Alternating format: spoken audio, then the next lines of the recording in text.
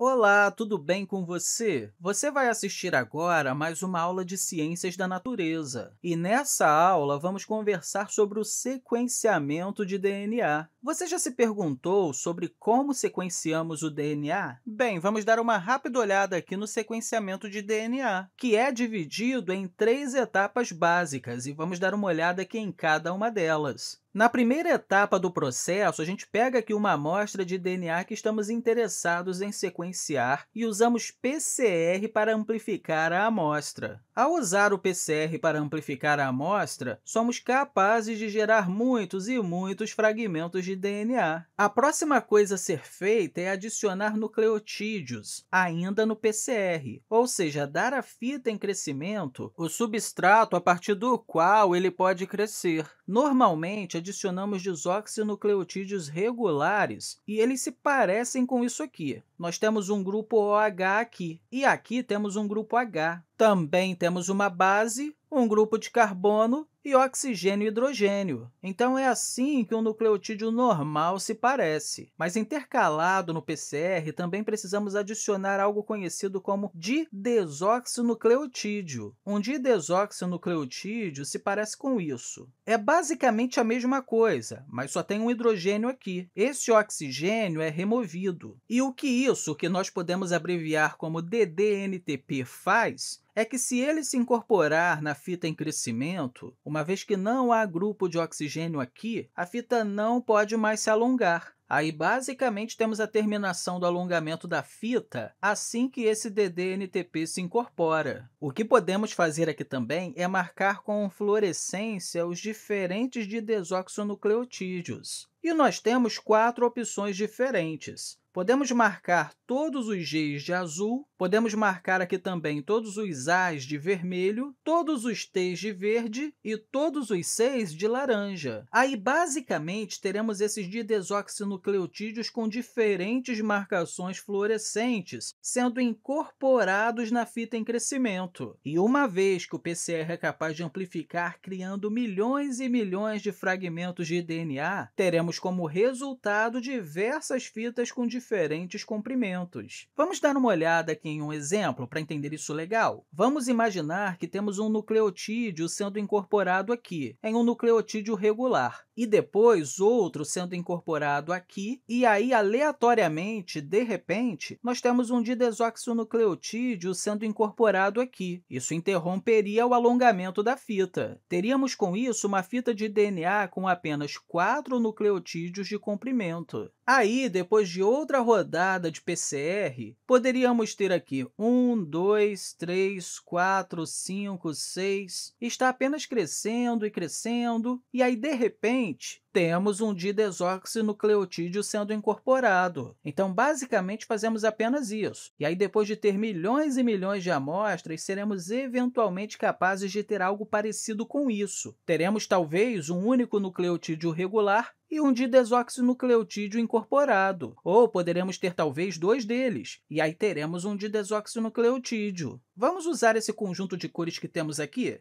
Repare que teremos várias fitas em crescimento e tendo diversos tamanhos que serão terminados em pontos diferentes por um didesoxinucleotídeo. Depois de fazer isso, chegamos à terceira etapa, onde realizamos a eletroforese em gel para separar as fitas por tamanho. Quando executamos todos os diferentes fragmentos em um gel, vamos separá-los por tamanho. Aí basta pedir a um computador para analisar todas as marcações fluorescentes. Então, se ele vier aqui, onde temos essa luz fluorescente azul, ele vai saber que o segundo nucleotídeo na sequência terá G. Então, ele vai dar como resposta um G. Aí, ao olhar aqui, ele vai dizer que isso é um C. Aqui, ele vai dizer que temos outro G, e assim por diante. Então, basicamente, o computador vai ser capaz de ler essas marcações fluorescentes e dar a você uma sequência de DNA. Essa é basicamente a visão geral de como funciona o sequenciamento de DNA. Eu espero que você tenha compreendido tudo direitinho aqui e, mais uma vez, eu quero deixar para você um grande abraço e dizer que te encontro na próxima!